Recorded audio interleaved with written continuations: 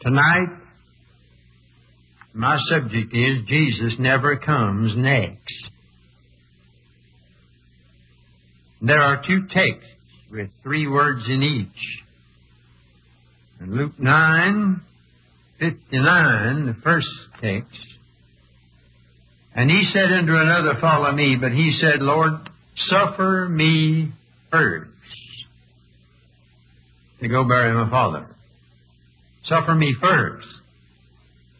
And then in Matthew 6:33, Jesus said, "Seek ye first the kingdom of God and His righteousness." In the first one, man is speaking to the Lord, and in the second, the Lord is speaking to man. And both have to do with priority. Life is a matter of priorities. And the quality of our living is determined by those things to which we give first place. But with too many of us, the first has been last and the last has been first. And the biggest business most of us have is to rearrange our priorities. In the last six verses of this ninth chapter of Luke, three men suddenly appear and then just as suddenly disappear, and we wonder what happened to them. Sometimes I call these three accounts the peril of the uncounted cost, the peril of the unburied corpse, and the peril of the unforsaken circle. Now I'm concerned with only the last two tonight. And I read some of that a while ago, beginning with verse 59, and he said unto another, Follow me. But he said, Lord, suffer me first to go and bury my father. Jesus said unto him, Let the dead bury their dead. Go thou and preach the kingdom of God. And another also said, Lord, I will follow thee, but let me first go bid them farewell which are at home at my house. And Jesus said unto him, No man having put his hand to the plow and looking back is fit for the kingdom of God. Now this sounds like rather harsh reply that our Lord made to these two men. The first one said, Lord, my father is old. Daddy really wasn't dead yet. He wanted to go home and stay with his father till he did die and then bury him. My father's old and I must take care of him, you know. We have these responsibilities and bury him. I've got to do that first. And then you will be next. I'll take care of my responsibility to you next. And Jesus didn't approve of that because he said in one of the translations puts let the dead bury their own dead. You go and preach. I come first or not at all. I don't come next. I don't play second fiddle. And then the second, I will follow thee, but Wilbur Smith says that's one of the greatest texts in the New Testament. That's exactly where a lot of people are. I'll follow you, Lord, but let me first take care of something else. Jesus said, No, no man having put his hand to the plow looking back fits the kingdom. Kingdom of God's no place for a man with his face pointed one way and his feet the other.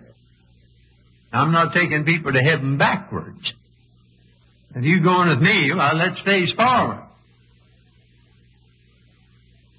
Over against that, you have Matthew 6.33, seek ye first the kingdom of God and his righteousness, and all these things, all what things? Well, what we wear and what we eat and all the common concerns of life will not be subtracted, they'll be added. They have their place, but it's not first place.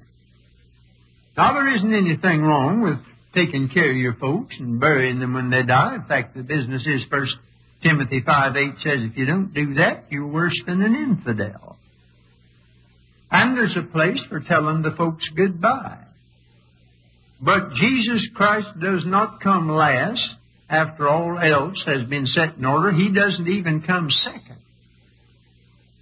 He demands more allegiance than any dictator who ever has lived. Caesar, Charlemagne, Napoleon, Hitler, no dictator ever demanded the absolute loyalty that Jesus demanded. But he has a right to. Love so amazing, so divine demands what? My soul, my life, my all. We sing it, and I get a little nervous about the easy way we sing some of these songs. We're usually unconscious when we sing. We'd come to, we'd never make it through the first verse, choke up before we got to the chorus. I get bothered about it. Uh, Savior more than life to me. Now hold everything. Is He? Now let's level tonight. Level with me on this. What do you mean? Is Jesus more than your life to you tonight? Jesus is all the world to me. Is He? Thou from hence my all shall be. Oh, happy day, you sing. Happy bond that seals my vows. Now that's a marriage uh, expression. A Christian is married to Jesus. Romans 7 4 says it. Paul says, I have, I'm jealous over you because you're married to the Lord, and I don't like to see you living in adultery. Jesus made this business of following him a very stern business. Matthew 10:34 Think not that I'm come to send peace on earth. I came not to send peace but a sword, for I'm come to set a man at variance against his father, and the daughter against her mother, and the daughter-in-law against her mother-in-law, and a man's foe shall be they of his own household. He that loveth father or mother more than me is not worthy of me, and he that loveth son or daughter more than me is not worthy of me. Now, uh, that's pretty strong. And then he said uh, in Luke 14, he had a big crowd and he gave them three canots in a row, and that's enough to thin out any crowd. Negative. Three canots. If any man come to me and hate not his father, mother, wife, children, brethren, sisters, yea, and his own life also, he cannot be my disciple. Whosoever does not bear his cross and come after me cannot be my disciple. Whosoever does not forsake all that he has cannot be my disciple. Now, I don't hear much preaching about that. We sort of play that low key, you know. Might scare some folks from joining the church.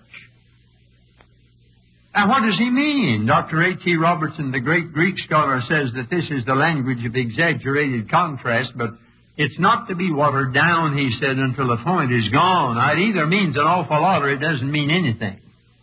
I know how the preachers explain it. They say we must love the Lord so much that all other love is as hatred in comparison, and that sort of lets us off the hook, we think. But uh, this is pretty severe. I don't care how you water it down. Jesus Christ demands utter and absolute allegiance. God is a jealous God. Exodus, Deuteronomy, and Joshua all say that. In the 24th chapter of Joshua, he was uh, saying farewell to the people, and he told them how good God had been to them, what he'd done for them, and then he said, Now I don't know what you're going to do, but as for me and my house, we'll serve the Lord. Everybody said, We will too, and it sounded great, but Joshua threw cold water all over that dedication meeting. He said, You can't serve God. I know you. I've heard you say that before. You said it out in the wilderness, and the next thing I knew, you were dancing around a golden calf. You don't mean it. God is a jealous God, he said.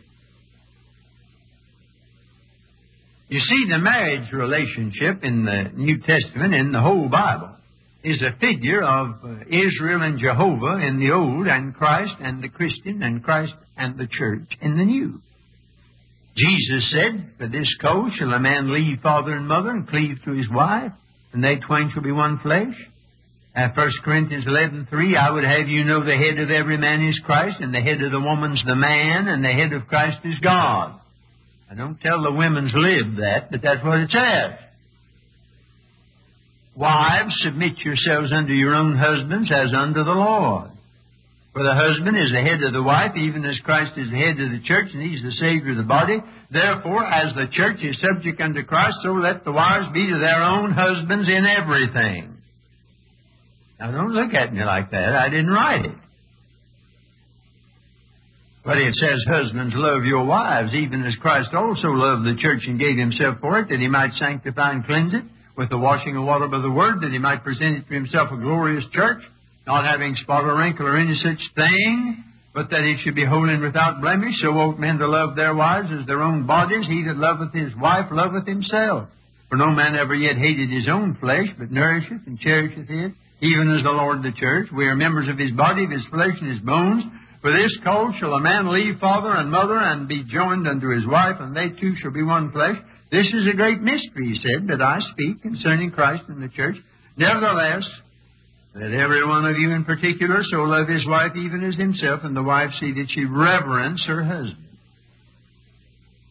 And James wrote in James 4 4, Ye adulterers and adulteresses, know ye not that the friendship of the world is enmity with God? Whosoever therefore will be a friend of the world is the enemy of God. A worldly Christian is living in spiritual adultery because you've broken your marriage vows to Jesus Christ. When some other man comes first and the husband second, that's adultery. When some other woman comes first and the wife comes next or further down the list, that's adultery. And when anything else comes ahead of Jesus Christ, when this old world comes ahead of Jesus Christ, and it does with thousands of our church people, that's adultery. He's not just talking about physical adultery here. Family life in America is breaking down, and this country is a disaster area from Maine to California as far as our homes are concerned. We have discarded the biblical stand on marriage and listened to crackpots, and authority is given way to anarchy, and man is no longer the head of the home, and woman is no longer the heart of the home, and when you've got anything that's got two heads and no heart, you've got a monstrosity. And by the same token, the church has taken the cross out and put in cushions and made it comfortable to be a Christian. And the Lordship of Christ doesn't mean anything. Church started out as a sheepfold and it's become a zoo. Got all kind of animals in it now. Anybody can get in, nobody ever gets out. And church membership's just a credit card. Didn't cost you anything in life and won't be worth anything to you in death. When the husband is no longer the head of the home and Jesus Christ is no longer the head of the church, friend, we're in trouble. Now, no wonder Paul said in 2 Corinthians 11, 2, I am jealous over you with godly jealousy, for I've espoused you to one husband, that I may present you as a chaste virgin to Christ. You see, all the way through, it, they mix up the marriage relationship with our relationship to Christ. Pretty hard to take it apart sometimes. Every pastor ought to be jealous about his people. He's got no right to be a pastor. If he doesn't get jealous for them when he sees them beginning to flirt with the world, because that's adultery. I don't believe there is such a thing as a worldly Christian. Old Billy Sunday used to say you might as well talk about a heavenly devil. You can't be bold. What woman would ever say to a prospective husband, I'll marry you after I have discharged my responsibilities to my relatives? You'll be next. If he's got any backbone at all, he'd say, Sister, you've had it.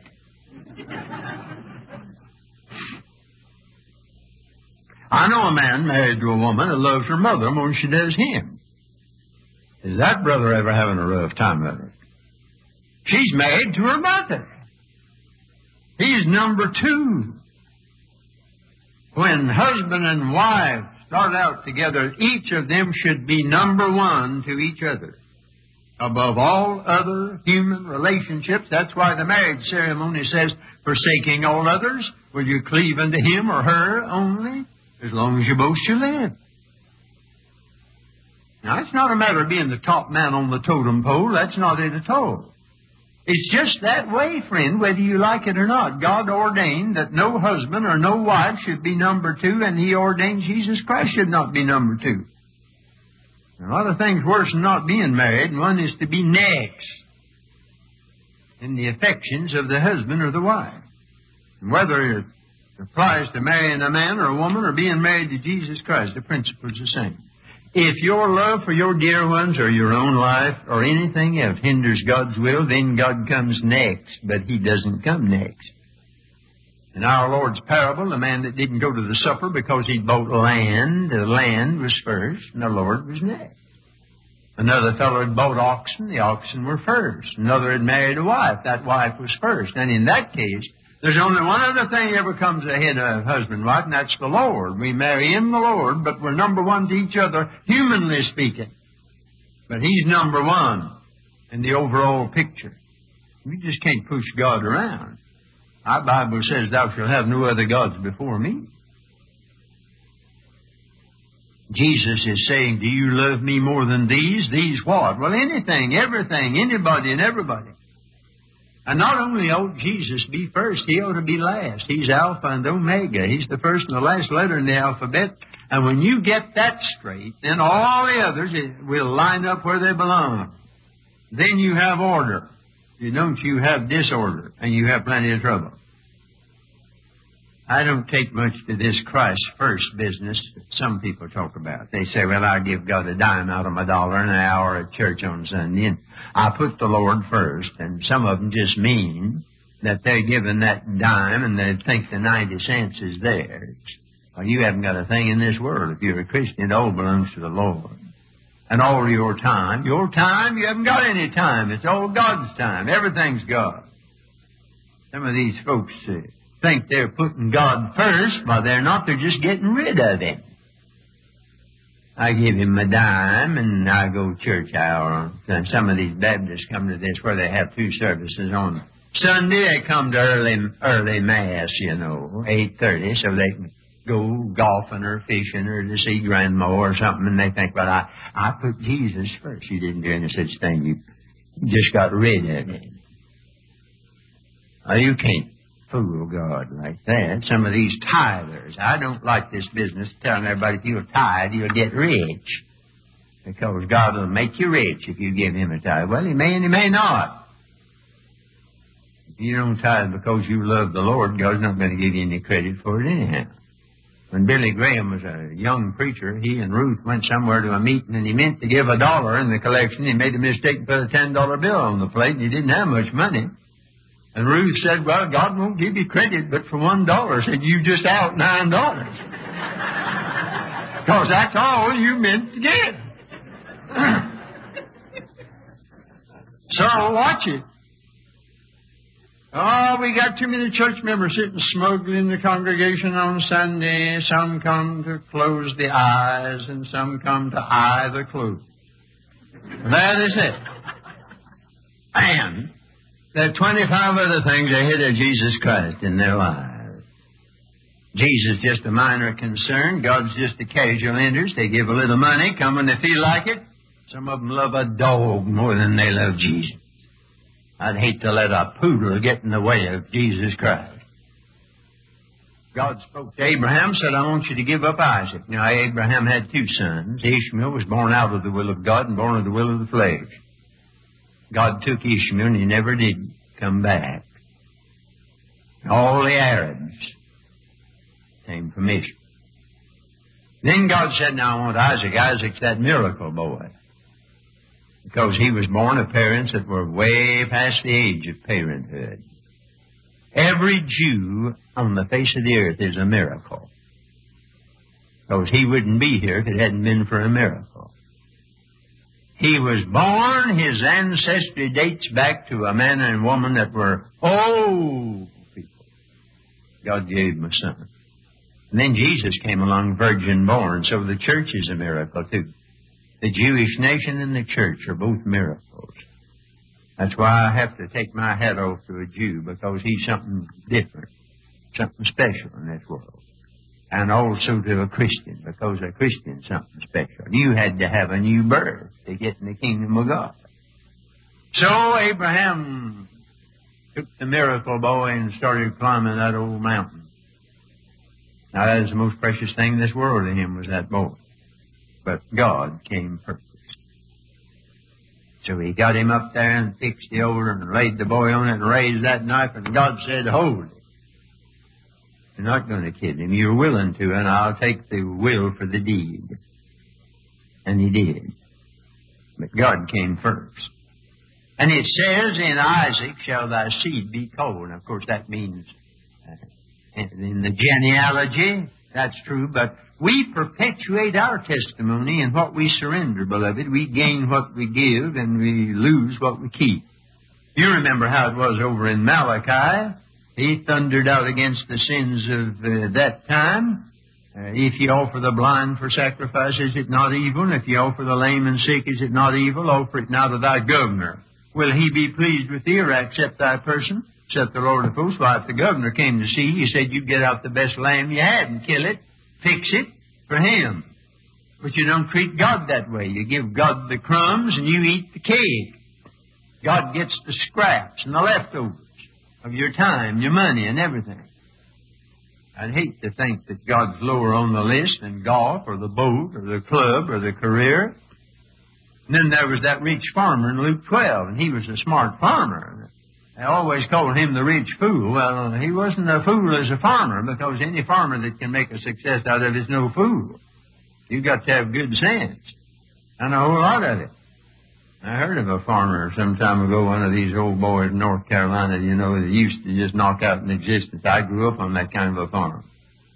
And knock uh, sparks out of rocks up there trying to raise a little cotton and corn and what have you. And he had one day he's driving an old jalopy and the thing just went dead right smack in front of an insane asylum.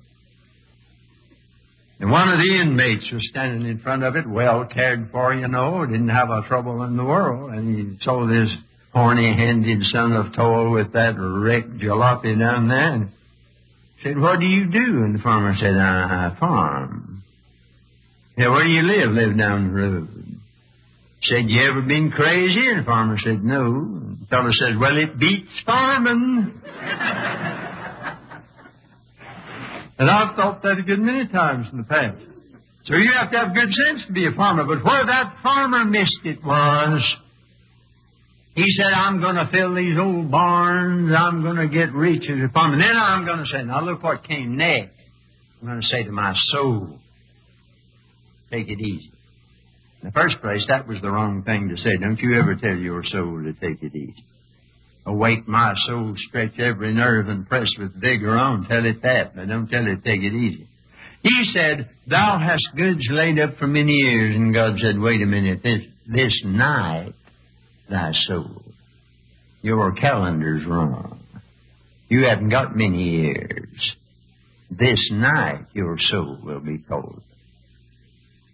Uh, let me ask you not be sure you got the right clock, friend, and the right calendar.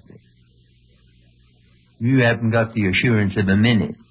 Oh, All this figuring, I'm going to do this and that. Say to my soul, no, you're not. God will say to your soul. We've got more idolatry in America than anywhere else on the face of the earth. They don't have idols in Africa. Anything like ours in number. The Bible says there are a lot of idols that Christians today have. The God of this world. You don't hear many sermons on worldliness anymore. We call it secularism. Now, nobody knows what that means, so that lets the preacher off the hook and everybody feels comfortable. The same old thing, though, it's ever always been. Jesus said before he comes back, it'll be like it was in the days of Noah and Lot. Have you noticed what he said then? He didn't say they were gambling and getting drunk and living in adultery. He said they were just eating and drinking and marrying, getting married, buying and selling, planting and building. Well, nothing wrong with that, is there? Not if you keep it in its right place. But if it's all you live for, it becomes worldliness, something of this age. If a man just lives for any of those things, he's just as worldly as some young blade on the dance floor at two in the morning. The Bible speaks of those, and old King James puts it bluntly, whose God is their belly, their lower nature. I've quit saying civilization's going to the dogs. I've quit that out of respect for dogs. Plenty of dogs today, plenty of people today doing things beneath the dignity of any dog. I heard of a hog that got hold of some liquor and got drunk, and after he sobered up, he called the other hogs together and said, If you'll excuse me for acting like a man, I never will do it again. Love of money. Do you know that money is more dangerous than liquor, more dangerous than sex, more dangerous than anything I can think of because the love of it? You say, well, that's the love of it. Yes, but if you didn't have the money, you wouldn't have the love of it. Is the root of all evil. And then lovers of their own self. Uh, we used to have a silly little song, I love me, I love me, I'm wild about myself. A lot of people wild about themselves. And then it says they feared the Lord and served their own God. Go to church on Sunday and sing, My Jesus, I love thee, but they don't. No other gods before me, the dearest idol I've known, whate'er that idol be, help me to tear it from its stone and worship only thee. Now, where are you tonight? Are you saying, Lord, I'll follow you, but are you saying, suffer me first, or are you listening to him when he says, seek me first? If you've got a problem, it's because your priorities are out of, are out of order. And he's not first and last. Therefore, other things are all out of line. He must be first because he never comes next. But look at what you get. No man or woman would think in terms of sacrifice to get the one they love. No little country girl would hold on to her trinkets if she could marry a prince. And all for Jesus Christ. I get sometimes sort of embarrassed begging people to come down and take Jesus, like I had him standing there with his hat in his hand, begging to be accepted. I don't find anywhere in the Bible where it says to accept Christ. It says believe and trust and follow and a whole lot of other words. Big question is, will he accept you? Said he would. Him that cometh to me, I'll no wise cast out. I get awfully tired of begging a lot of stubborn people come down and say I'm ashamed of myself while they ought to run down the aisle to let Jesus be everything. No mortal can with him compare among the sons of men. Fairer is he than all the fair who fill the heavenly trunk. To him I owe my life and breath and all the joys I have. It makes me triumph over death and saves me from the grave. That's worth coming down the aisle for. That's worth giving everything you have for. He deserves to be the first and the last. Don't you say, I have to bury my father first. Say instead, I will not wait till I've said goodbye. I won't wait till I've built bigger barns. I won't wait for a more opportune time. I won't wait till I feel like it. He's worth it now. But it costs. And I'm not wearing myself out going up and down the country trying to get people to make a cheap little acceptance of Jesus Christ as Savior when they won't have Him as Lord. You can't get to heaven by taking Christ as Savior if willfully you refuse to have Him as Lord. Because it says, if thou shalt confess with thy mouth Jesus as Lord, you'll be saved. Now let me ask you tonight as I look, is Jesus first and last? And have you ever, have you got the other things in line? If you haven't, you're going to have trouble because the thing's out of line. Nothing on earth is important enough to get ahead of Jesus Christ. There are plenty of church folks that have put him in the second place or way down the line. Not first. Have you ever done it? Now do a little thinking. Isn't there something else that gets most of your thought and time and attention you love most? Oh, I, I love Jesus, yes, but it doesn't show up much. I'm getting awful tired of these cheap little invitations. Everybody comes running down the aisle and you can't tell the difference after they've come. I'd rather get three people come down the aisle to mean business with Jesus Christ.